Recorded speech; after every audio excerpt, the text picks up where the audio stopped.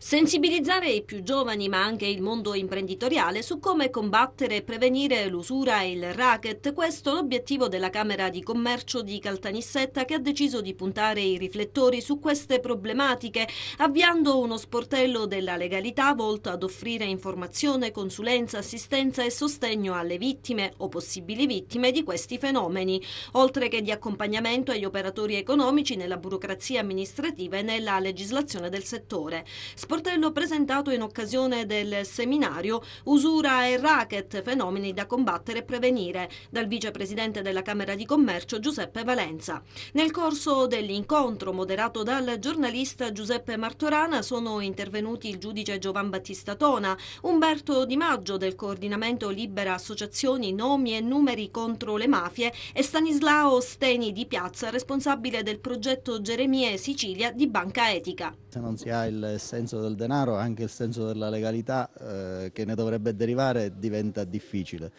perché il fenomeno dell'usura, il fenomeno del racket è esattamente una, eh, eh, il frutto del,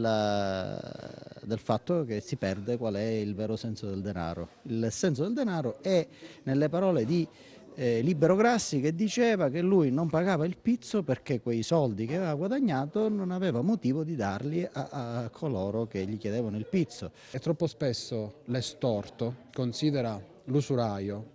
un angelo, una persona che lo salva da un momento di, di, particolare, di, particolare, bisogno. E tutto questo accade anche perché troppi istituti creditizi eh, chiudono le porte,